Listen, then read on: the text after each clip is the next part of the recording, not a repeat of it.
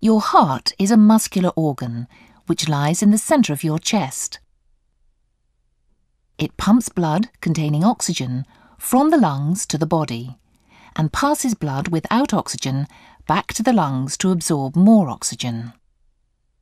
To do this effectively, your heart is divided into four compartments or chambers. There are two chambers on the right side of the heart and two on the left. A valve lies at the exit of each chamber. The valves ensure that blood flows in one direction only. The left atrium lies above the left ventricle. The two are separated by a valve called the mitral valve. The right atrium is above the right ventricle. These two chambers are separated by the tricuspid valve. The left atrium receives blood that contains oxygen from the lungs via the pulmonary veins. This blood then passes into the left ventricle, which pumps it into the aorta.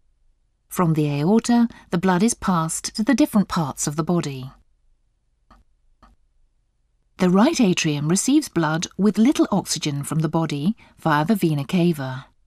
This blood passes into the right ventricle, which pumps it into the pulmonary artery and back to the lungs to have oxygen added to it.